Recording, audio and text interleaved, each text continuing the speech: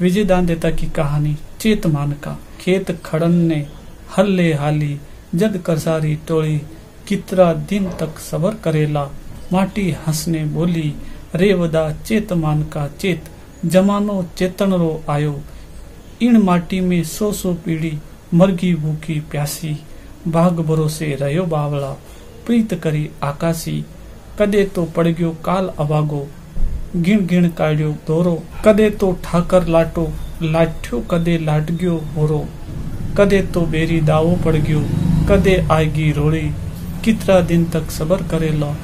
माटी हंसने बोली, रे वदा चेत मान का चेत, जमानो चेतन रो आयो। मांग्या खेत मिले नी, करसा मोल चुकाणी पड़सी, मोत्या मूँगी इन धरती रो, कोल निभाणो पड़सी। सामी छाती जे कोई आयो, ज़ोर जताणो, पड़सी। खेत खड़ता, हल्ले रोक्यो। हाथ कड़ाना, पड़सी। कोई बिना रंगनी आवे। धरती पड़गी धोड़ी कितरा दिन तक सवर करेला। माटी हंसने बोली रे वदा चेत मान का चेत। जमानो चेतन रो आयो।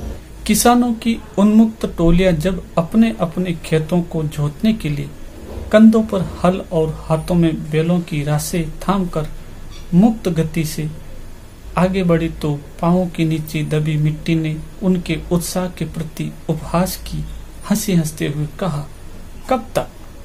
आखिर और कब तक? कितने दिनों तक इस तरह सहन करता रहेगा? खुदा के बंदे, अब तो चेत। सारे जमाने में चेतना का उत्फुग्य प्रकाश लहलहा रहा है। और तेरे इस आत्मघाती सब्र का तो जैसे कोई अंत ही नहीं है। गाफिल इंसान, चेत, निर्विलंब चेत, ये चेतना और जागृति का युग है। क्या आँखों में उंगली डालकर ही मुझे दिखाना होगा कि जिस माटी के मोह ने तुझे इस तरह मतवाला बना रखा है, उसी माटी के कण कण में तेरे पुरखों की मेहनत दबी पड़ी है। मेहनत से पैदा किए हुए दान से उनकी भूख दबी पड़ी है। क्या आँखों में अंगुली डालकर ही मुझे दिखाना होगा कि जिस माटी के मोह ने तुझे इस तरह मतवाला बना रखा है, उसी माटी के कण कण में तेरे पुरखों की मेहनत दबी पड़ी है। मेहनत से पैदा किए हुए धान में उनकी भूख दबी पड़ी है। अभिलाषाओं की अमृत प्यास दबी पड़ी है। भोले इंसान, पीढ़ियों से तूने इसी तरह भाग्य का भरोसा किया है और पीढ़ियों से तेरे भाग्य ने तुझे इसी तरह छला है। धरती पर जी तोड़कर मेहनत करने वाले भोले किसान, तू पीढ़ियों से आकाश के माया जाल में उलझा रहा है और पीढ़ियों से आकाश के अंधे मोह ने तुझे बरगलाया है। पानी की आशा से तूने आकाश की ओर देखा तो कभी आग बरसी, कभी काल बरसा तो कभी सूखा बरसा। उन अभागे बरसों के अभागे क्षणों को तूने कितने दुखों से गिन गिन कर बिताया है। तेरी मेहनत से पैदा किए धान की खलिहानों को कभी ठाकुर के कारिंदे लाट ले गए तो कभी साहूकार के बही खाते ने तेरी फ़सल पर सफाया कर दिया।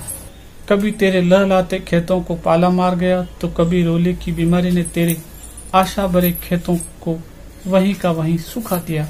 लेकिन तेरे आत्मगति सब्र का तो जैसे कहीं अंत ही नहीं है। कब तक? आखिर और कब तक इस तरह सब्र के कड़वे खूंट पीता रहेगा?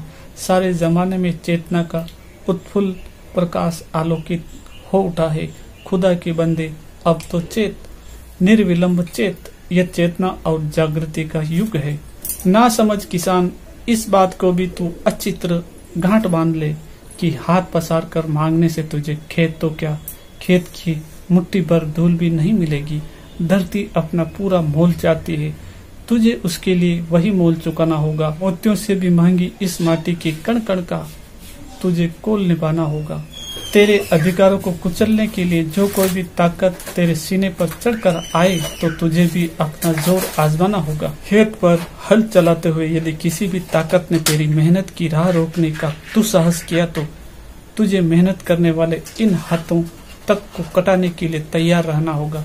लेकिन तू तो पीढ़ियों से इसी तरह चुपचाप सहता चला आ रहा है जमाना गुजर गया, तुझे अत्याचारी के विरुद्ध खून का एक. जमाना गुजर गया, तुझे अत्याचारी के विरुद्ध खून का एक कतरा भी दिए हुए. तेरी घातक उदासीनता ने धरती तक की आरक्त कांति की उससे छीन लिया है। बिना तेरा खून लिए उसमें रग नहीं भरेगा, लेकिन तेरे आत्मघाती सब्र का तो कहीं कोई अंत ही नहीं है। कब तक आखिर और कब तक इस तरह सब्र करता रहेगा?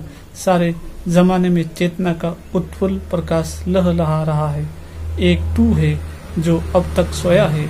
खुदा के बंदे चेत निर्विलम चेत यह चेतना और जागृति का युग है। तो ये कहानी समाप्त हुई और आगे और कहानियाँ लेकर आऊँगा। ज़रूर आगे शेयर कीजिएगा।